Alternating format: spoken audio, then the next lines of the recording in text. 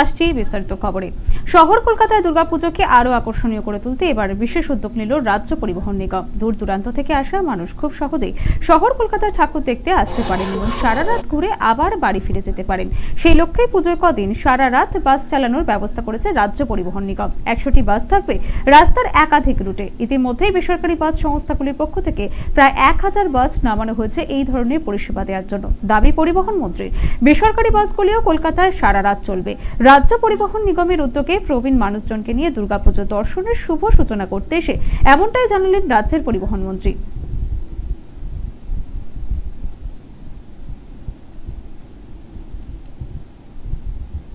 এবার আমি চালু করেছি এবং এর পাশাপাশি এই দুর্গাপুজো যেহেতু ইউনেস্কো এটাকে intangible cultural heritage in humanity এই স্বীকৃতি দিয়েছে, এবারের পুজোটা কিন্তু আরও বেশি জনপ্রিয় হয়ে উঠছে মানুষের কাছে। তাই আমি একশো বাস এবার এই পুজোর আগেই কলকাতায় নামাচ্ছি যাতে কলকাতার বাইরে থেকে মানুষ এখানে আসতে পারে। আর সব থেকে বড় খবর হলো, এবার সারা রাত বাস চালাবো। সরকারি এবং বেসরকারি বাস, দেখবেন সারা রাত এই পুজোর চার দিন চলবে। যে সমস্ত জায়গাগুলোতে নো এন্ট্রি থাকবে না, সেই রাস্তাগুলোতে সাধারণ মানুষ বাস পাবে।